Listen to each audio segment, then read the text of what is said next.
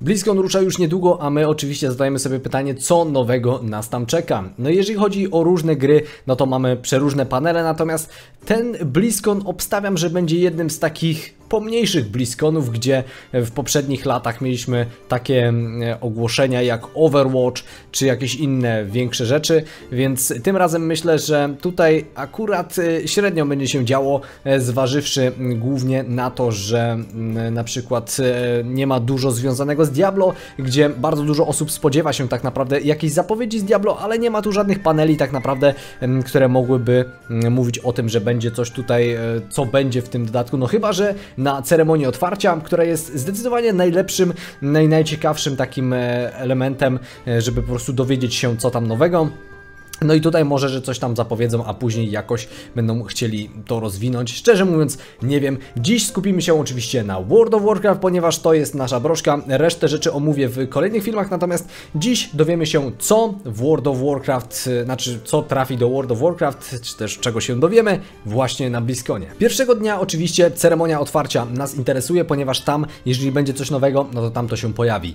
W World of Warcraft otrzymaliśmy patch e, do tej pory, jak już będzie właśnie um, blisko, no to będziemy mieli już patch 7.1, nie będzie jeszcze Trials of Valor, to jest raid um, właśnie 3 bossowy, e, który będzie znajdował się w tym patchu dopiero po e, Bliskonie, natomiast mieliśmy już trailer, mieliśmy już wszystko, patch będzie live, no i teraz możemy się jedynie spodziewać tak naprawdę e, kolejnych patchy, więc na ceremonii otwarcia powątpiewam, że pojawi się coś związanego z World of Warcraft. Raczej patchy nie będą ogłaszać, no chyba, że chcą ogłosić nowy dodatek, ale to już, to już byłoby troszeczkę przegięcie. Natomiast oczywiście e, później mamy o 22.45 naszego czasu polskiego jest panel What's Next. Panel What's Next jest to bardzo ciekawy panel. Lubię te panele, ponieważ jest to po prostu w zwykłym, normalnym tłumaczeniu co dalej.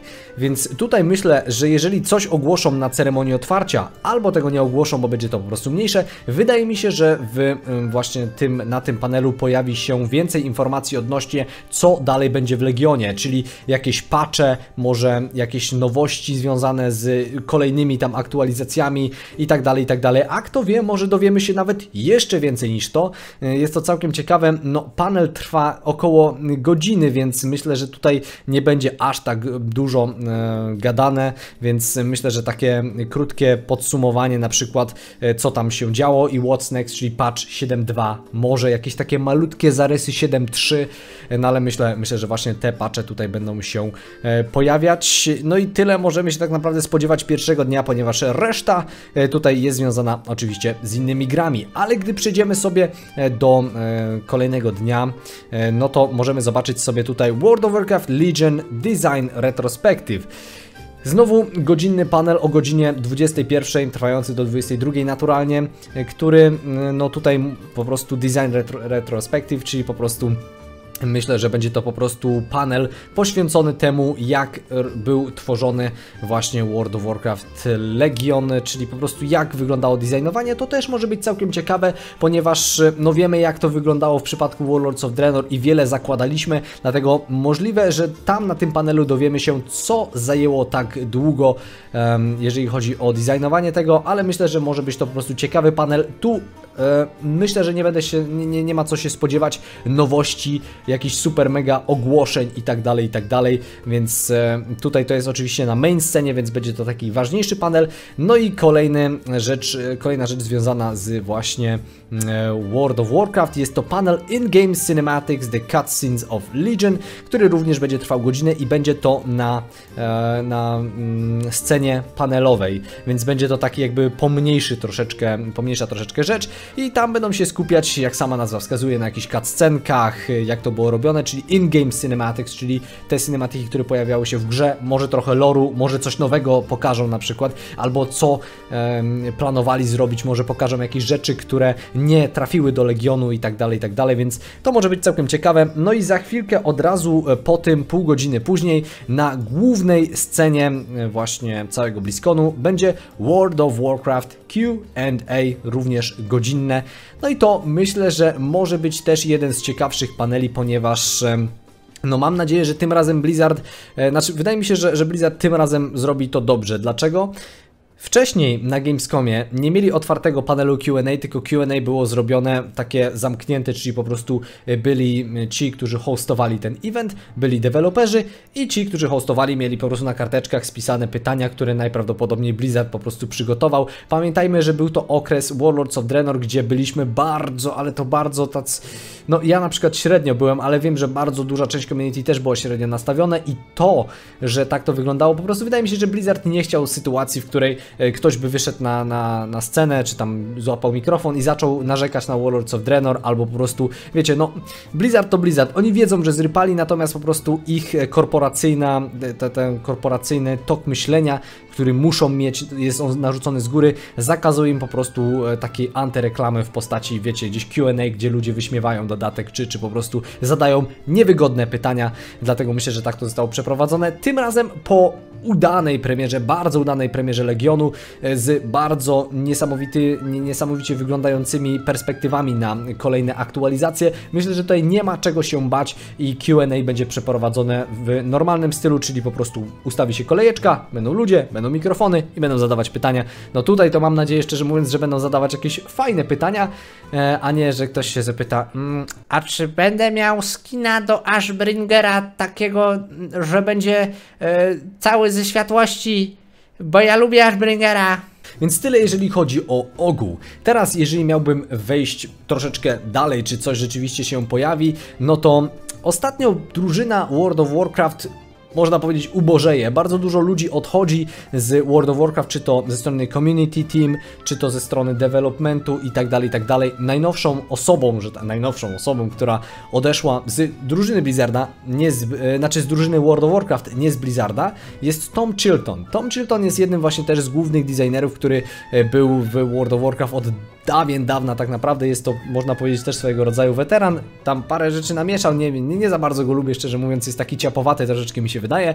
W każdym razie e, właśnie on odszedł i swoją oczywiście tutaj, e, swo, swoją tutaj jakby... Mm, wypowiedź zostawił oczywiście mówiąc o tym, że, że zostawia tutaj e, drużynę Blizzarda w dobrych rękach, bla bla bla. Cały list oczywiście możecie sobie przeczytać. No i tutaj on nazywa to New Adventures Just Down the Hall. O co chodzi? No, e, w tym momencie to wygląda na takiej zasadzie, że zostaje on przeniesiony z jednej drużyny do drugiej drużyny i jak on mówi, że będą to nowe przygody, just down the hall, czyli gdzieś tam w e, Blizzardzie. Nie wiadomo tak naprawdę, gdzie on jeszcze trafi, może trafi do Overwatcha i tak dalej, ale też pojawiają się bardzo duże spekulacje odnośnie tego, że Blizzard będzie pracował, czy pracuje już aktualnie nad czymś nowym, na kolejną rzeczą i to nie jest World of Warcraft, więc może być to kompletnie coś nowego. Blizzard ostatnio miał trend na wypuszczanie nowych gier i, i jeszcze jedna gierka, kto wie, kto wie, co tam Blizzard oczywiście sobie zaplanuje. W każdym razie mm, właśnie były takie spekulacje, że Tom Chilton właśnie jako doświadczona osoba ruszy gdzieś do jakiejś nowej drużyny z nowym projektem, albo gdzieś trafi do Overwatch, albo do innych jakichś tam projektów. No ale tu pojawia się jeszcze jedna rzecz. Otóż ostatnio na stronie pewnego prywatnego serwera, który został zamknięty i wywołał całkiem dużą burzę w internecie, czyli Nostalrys, wypowiadałem się na ten temat, wiecie, że tego nie wspieram, wiecie, wiecie jakie jest moje stanowisko po prostu odnośnie tego. W każdym razie, ostatnio e, pojawiało się e, nieco informacji odnośnie e, właśnie samego tego Nostalirusa. Historia pokrótce wygląda tak, że oni zostali zaproszeni przez Blizzarda w końcu i porozmawiali sobie, dali im jakieś tam source code, jakieś du dużo rzeczy przydatnych dla Blizzarda, żeby ci może przekuli to właśnie w prywatne, znaczy w nie prywatne serwery, tylko w serwery Legacy, czyli nic innego jak serwery, wiecie, ze starszych dodatków. Ja mówię, no o tym już się wypowiadałem wiele razy, natomiast tutaj jest pewien announcement. To jest w sumie temat na inny odcinek, ale pokrótce e, jakby spodziewamy się, że może coś w tej kwestii wątpię. Od razu mówię, że ja jestem za tym, że no niestety myślę, że się to nie pojawi. Natomiast e, sami tutaj ludzie z Nostariusa powiedzieli, że jeżeli Blizzard e, nie ogłosi niczego na Bliskonie, no to oni będą coś tam sobie kombinować dalej. O tym jeszcze będzie inny odcinek, więc e, kolejna rzecz, którą możemy tutaj oczywiście dopisać do tego jest raz, że nowy projekt, dwa, że na 100% będą te patche, Wydaje mi się, że będą normalnie patche. Na panelu What's Next musi być jakiś nowy patch, muszą być nowości, nowe rzeczy, które będą się pojawiać w grze. No i oczywiście możliwe, że coś z tymi mm, właśnie legacy serwerami będzie się działo. No ale to tak naprawdę tyle, co mogę Wam powiedzieć. No myślę, że akurat w tym roku będzie to spokojniejszy e, BlizzCon, jeżeli chodzi na pewno o World of Warcraft, ponieważ no mieliśmy dodatek, znaczy wypuszczony dopiero to dodatek, mamy nowe patche, nie ma tutaj tak naprawdę wielkich rzeczy do zapowiadania, więc myślę, że to było na tyle, jeżeli chodzi o ten odcinek, dlatego jeszcze raz tak pokrótce może pojawią się serwery Legacy albo coś na ich temat, choć bardzo, ale to bardzo wątpię. Mogę się oczywiście mylić. Druga rzecz to patch 7.2 i kolejne patche, kolejne aktualizacje, co będzie dalej w grze. No i może jeszcze jakiś tam ukryty projekt, może coś związanego właśnie z WoWem czy z czymś innym. No i to było na tyle, jeżeli chodzi o ten odcinek. Jeżeli Wam się podobał, oczywiście poprosiłbym Was o to, żebyście zostawili łapkę w górę. Jeżeli się nie podobało, łapka w dół. Oczywiście oceny są bardzo ważne, czy te w górę, czy w dół. E, no i zobaczymy się na kolejnym filmie. Trzymajcie się, do zobaczenia, papa, pa. cześć!